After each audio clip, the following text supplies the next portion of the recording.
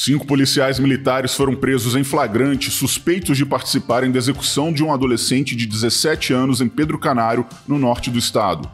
Entre os presos, dois são cabos e três são soldados.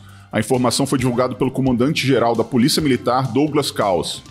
A execução aconteceu na manhã desta quarta-feira no bairro São Geraldo e teve grande repercussão por todo o país. Um vídeo de uma câmera de segurança mostra a ação.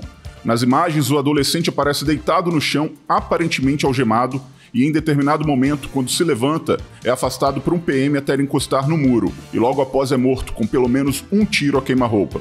Os suspeitos foram levados para o presídio militar e irão passar por uma audiência de custódia na tarde desta quinta-feira. A Polícia Rodoviária Federal prendeu dois foragidos da Justiça em dois pontos diferentes da BR-101 no Espírito Santo. As prisões aconteceram durante o patrulhamento de rotina da PRF nesta quarta-feira. Um dos detidos foi um adolescente que tinha um mandado aberto de busca e apreensão expedido no mesmo dia pela Vara Única de Fundão. O segundo era um homem com mandado aberto por roubo com grave agressão. Ele foi encaminhado para o DPJ de Linhares.